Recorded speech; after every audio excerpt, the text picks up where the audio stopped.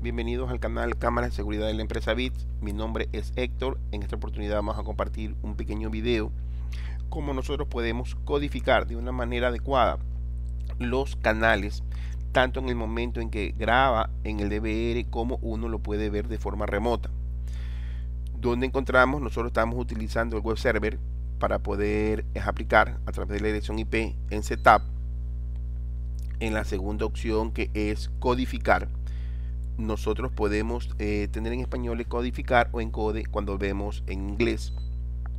Tengo cada uno de los canales en este caso en la parte izquierda en la parte izquierda lo que yo voy a disponer es de una cadena principal por eso que se llama mainstream cuando lo vemos en inglés y en la parte derecha que es extra extreme que vienen a ser las cadenas adicionales. que son cadenas adicionales? Normalmente en la parte izquierda estamos hablando de un monitoreo remoto, cuando yo estoy viendo, por ejemplo, de las tablets, de los celulares.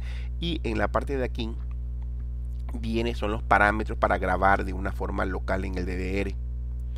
Eh, los puntos más importantes que tengo que tomar en cuenta son la resolución. Por ejemplo, en este tipo de DVR tengo una resolución superior al de 1. Mientras más arriba está significa que son más grandes las imágenes.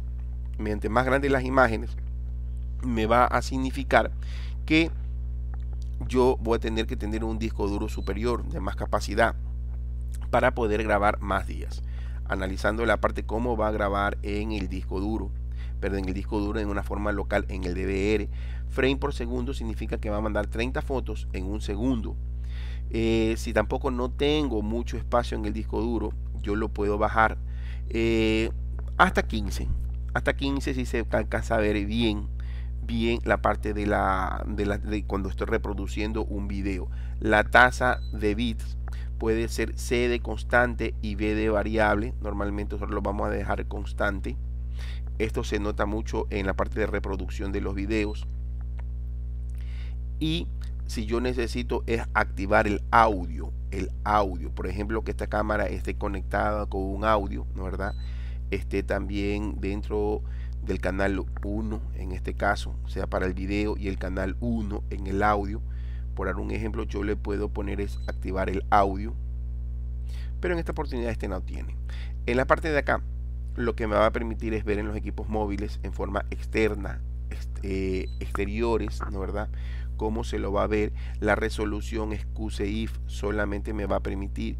Tengo es una resolución si yo comparo con la anterior está grabando es en el disco duro tengo 960h y tengo if y if. Entonces la más sencilla si yo vengo y grabo un pequeño video en el celular, por dar un ejemplo, me va a grabar en formato QCIP que son imágenes pequeñas, obvio, porque mi celular no tiene la capacidad de un disco duro.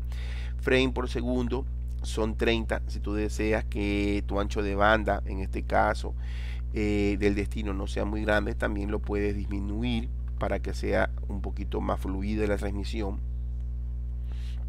Y también yo le debo activar el audio para poder ver. Toda esta parte me va a corresponder es la cadena adicional que es extra string que es un monitoreo remoto y el de aquí viene a ser lo que es la parte local en el DVR eh, actividad diafra eh, eh, filigrama activar yo aquí le puedo poner es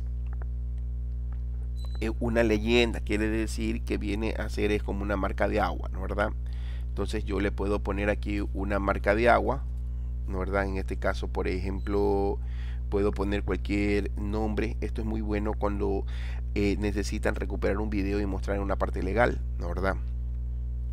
Porque me va a permitir tener una marca de agua.